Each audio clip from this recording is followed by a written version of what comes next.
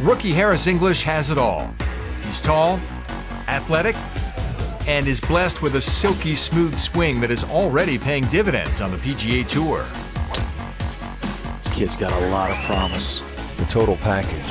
Impressive young player out here on tour. He is the real deal. 10 feet away for the win. Yes, indeed. Harris English. Dramatic finish. Incredible play. It really gave me a lot of confidence that I could play on the Nationwide Tour. It just really showed me a lot about my game, and it was a very special opportunity for me. Just the third amateur ever to win on the Nationwide Tour. Success was a double edged sword.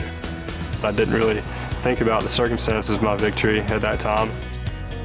English faced a difficult choice turn pro following the victory and chase his PGA Tour dreams on the Nationwide Tour, or retain his amateur status and compete in the esteemed Walker Cup competition in Ireland. Fortunately, he had almost two months to make a decision. That 60 day rule was really good for me because I could stay amateur for a couple more months and play Walker Cup and do all the things I want to do as an amateur and then turn pro and play on the Nationwide Tour, and it worked out great for me.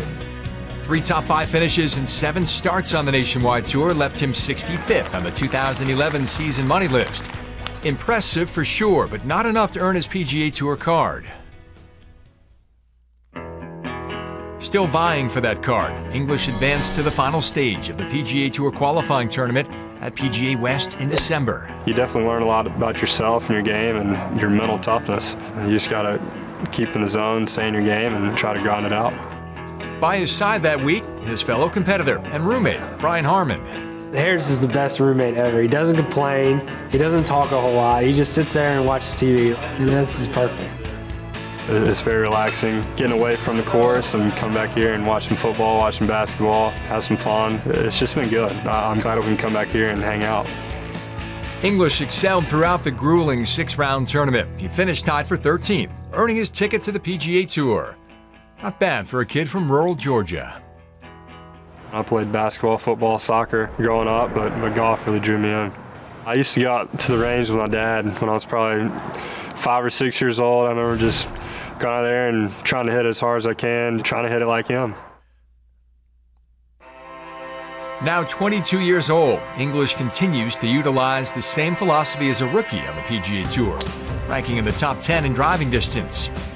He's made 8 of 10 cuts this season, including 5 top 25 finishes, sits 50th in the FedEx Cup standings, and is emerging as one of the leading contenders for Rookie of the Year. It's definitely easy to let your mind wander and kind of fast forward to it. I mean, you just got to keep it in the present. That's what I'm trying to do and not get ahead of myself.